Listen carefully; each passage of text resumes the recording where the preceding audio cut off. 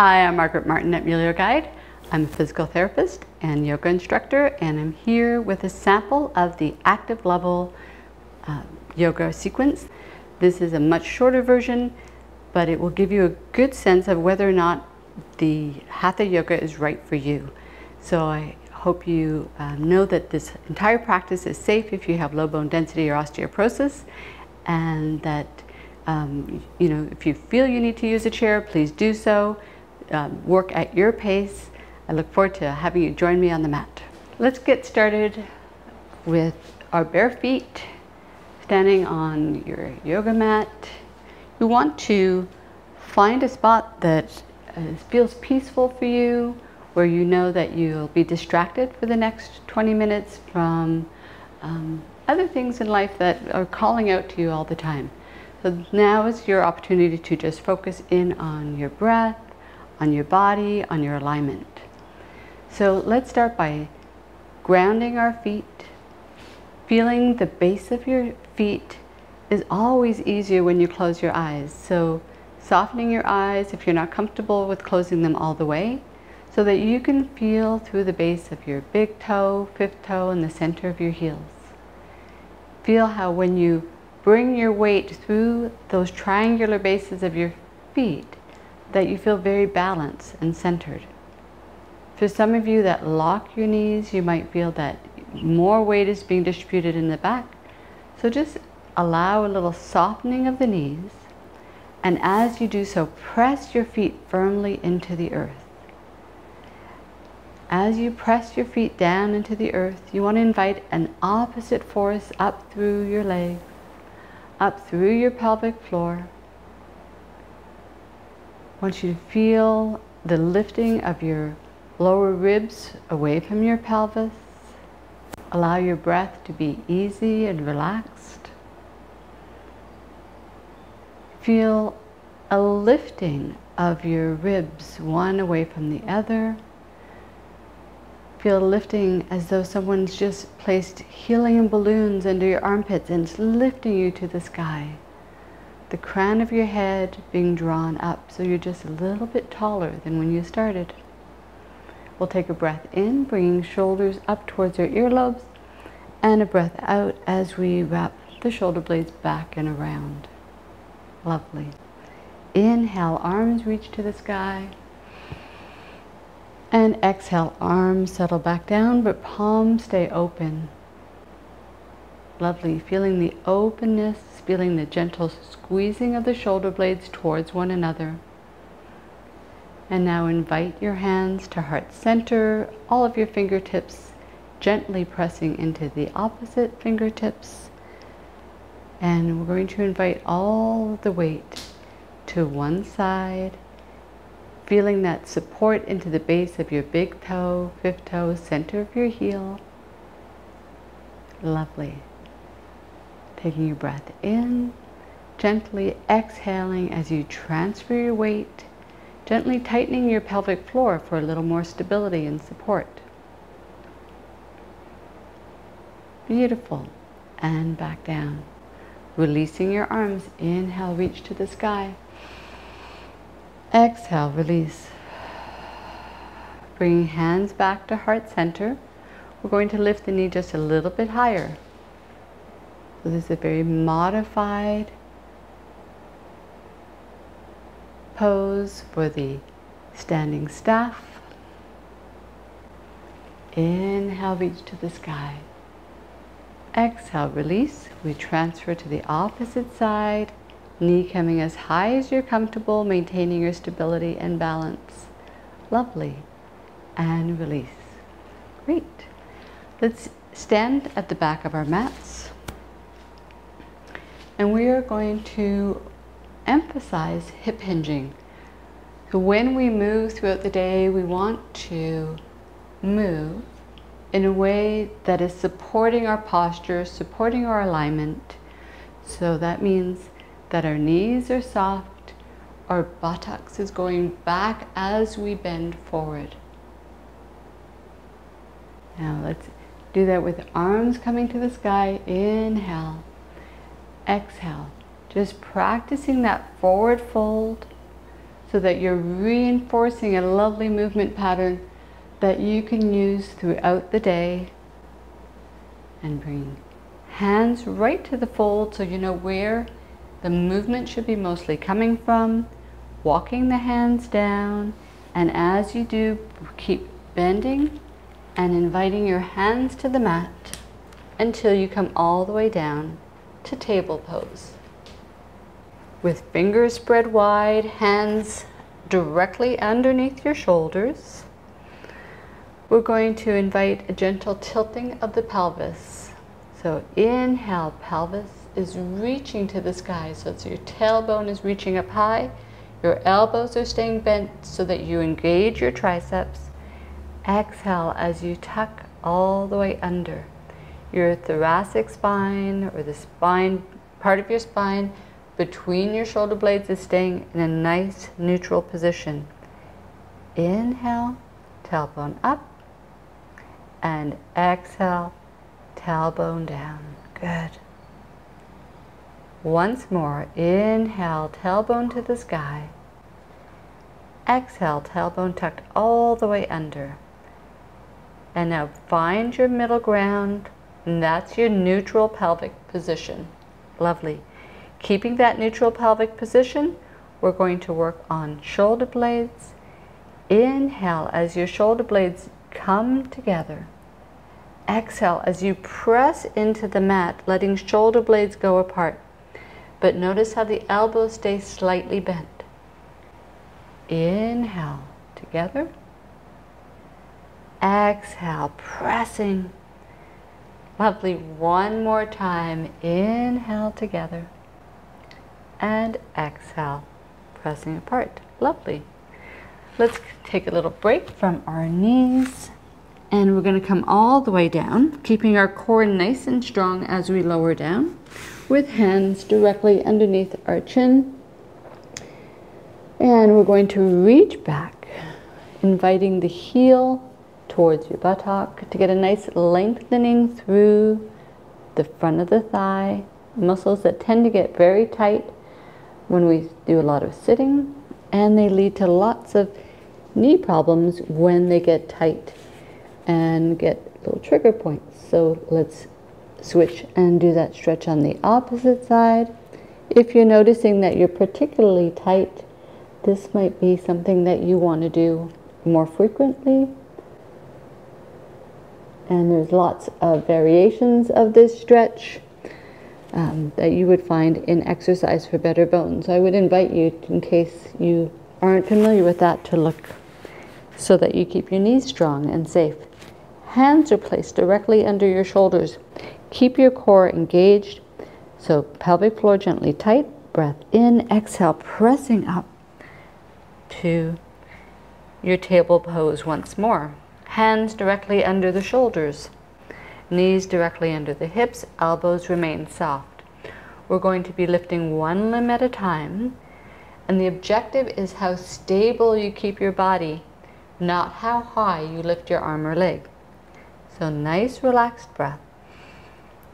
Exhale, keeping your body very stable, lifting your hand anywhere between an inch and all the way horizontal in line with your body. Once again, it's how stable you keep it if you keep the supporting elbow soft, you're going to work your triceps. If you lock your elbow, there's no work in the muscle at all. You're just hanging on the ligaments. Let's return the hand down. So challenge yourself, keeping those elbows bent, pointing towards your thigh. Breath in. Feel the transfer of the weight onto your supporting hand as you lift the opposite hand. By leading with your thumb, you're allowing a little bit more space in the shoulder,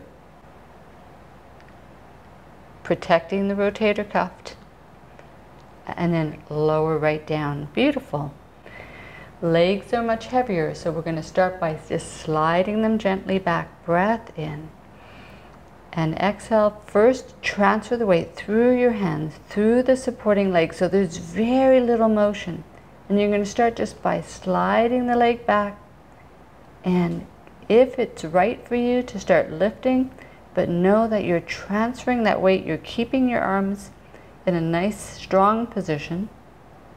If you're able to lift to the horizon without tilting your pelvis or your shoulder girdle, terrific. And then coming all the way back with that same stability. We're going to do this one more time on the last slim breath in and exhale. Once again, transfer with stillness, keeping shoulder girdles, pelvic girdles in the back of your head very still. Imagining teacups sitting, and as those teacups are at the back of your head on each shoulder girdle and on your hips. And so as you lower down and lift, everything stays so very quiet. Good job. All right, time to do a little core work. We're going to lower down onto our forearms and our knees. If you find pressure on your knees difficult, you can use a bit of support under your shins. You can also press the tops of your feet down into the mat and that the weight goes through your feet rather than your kneecaps. So you're taking up some of that weight. Keep your core engaged. Whenever you're in a plank, you want your shoulder blades to be in neutral. You want your pelvis to be in neutral. You also are looking to not feel any stress in your back. If you feel any stress in your back, it's your body's way of telling you you've just worked a little bit too hard. All right, you're going to press all the way back up. Very nice. Coming back onto hands. Big toes together, knees apart. We're going to just release any tension. You might feel it in your back, walking out with your hands in front of you, allowing your forehead to sit down and relax onto your mat. Your sit bones are reaching up into the space behind over your heels and nice little stretch through your toes if you want to tuck them under at the same time. Lovely. One last breath. Very nice. All right, we're going to make use of this cushion that we have to strengthen our back. So let's grab the cushion, bring it into the space directly under the pelvis. So the bottom of your cushion is about at your pubic bone and the top of your cushion is just beneath your breast. Your arms are going to start down by your side. You can rest your head on the side or if you want to use a towel for your forehead. I found that the larger the breasts of the person doing this, the bigger the pillow you need. And also it makes the headrest much more comfortable because when you're large breasted, everything's dropping down and it's a lot harder to get good form. All right, feet stay engaged to the earth, pelvis stays engaged to the cushion. Nice relaxed breath in and exhale as you press your pelvis down. You're lifting your torso gently, just enough so you're lifting off of the mat. You're gently squeezing your shoulder blades together thumbs turned towards the sky in a way that opens up your shoulders. And then you're going to release all the way back down. Nice relaxed breath. And let's repeat. When I mentioned to open up in a way that opens your shoulders and the opening of the thumbs, I I see many of my yoga students doing this. They're very flexible through their shoulders, but you'll notice how that turns you all the way in. So make sure you're opening up to undo a lot of the closing that we do all day. And let's come all the way back down. Wiggle out any tension you might be feeling. And we're going to do that one more time. All right, breath in. Once again, feet press down, pelvis presses down as you lift up. Beautiful. Bending your elbows and press them just beneath your shoulders. And we're going to keep pressing all the way up and back. Nice. All right, we'll move the cushion off to the side. We're going to roll onto our side, come down onto our forearm, and here we're going to do a side plank. So we're going to straighten the top leg, keep the bottom leg bent.